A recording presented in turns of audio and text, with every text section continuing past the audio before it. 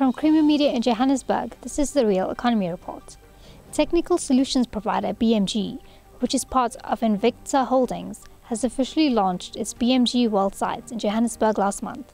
Mia Breitenbach tells us more. The investment to upgrade the Droste Park facilities into a leading edge distribution centre is to centralise functional and support operations onto one site.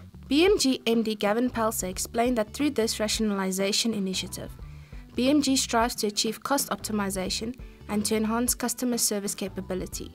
Pelser and Invicta Holdings non-executive director David Samuels opened the facility in September.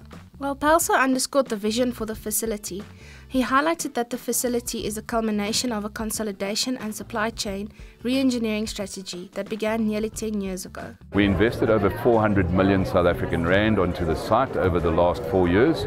This has been uh, used mainly in our distribution center where we have put in automatic warehousing, warehouse management systems, as well as a complete JDA system for stock analyzing.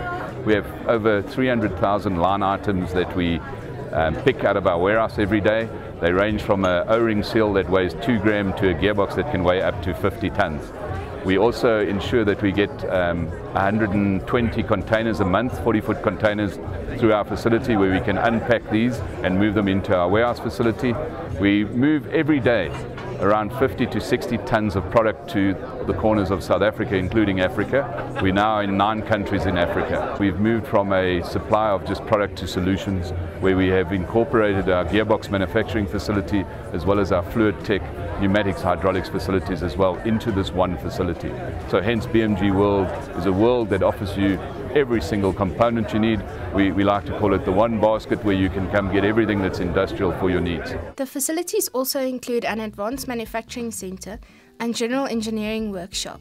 It also houses specialist assembly and repair workshops for drives, conveyors, hydraulics and pneumatics, as well as electric motors, electronics, gaskets, lubrication systems and filtration systems. This enables BMG to continue to provide high levels of operating efficiencies and service delivery. The company has also invested in the latest materials handling equipment. This includes high bay reach trucks to optimize volumetric efficiency. Special machinery at the new facility includes eight dock levelers that will handle the containers. Key specialist machinery at BMG World includes a 200 kilowatt regenerative load test rig. The rig uses technology to transmit and apply loads of up to 30,000 Newton meter. As training and skills development is key to BMG, the company has also upgraded the facility to host the BMG Academy of Excellence practical and theoretical training.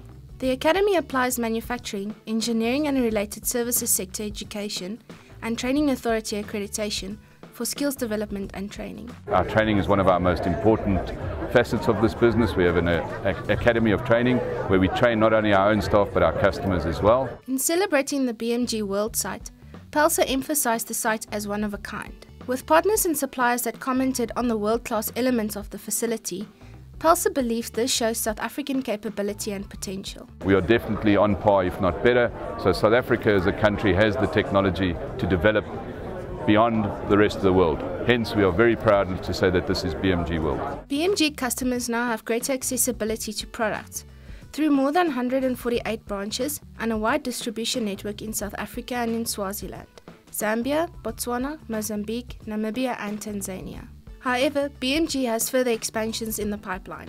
Pelser explained that BMG aims to have more than 30% of its 4 billion rand turnover coming from business in Africa. The company will also pursue a wider footprint on the continent. We are opening up in Ghana in November. Um, we are going East and West Africa as well as Central Africa. This is our growth strategy. That's it for today. Join us again next week for more news and insights into South Africa's real economy.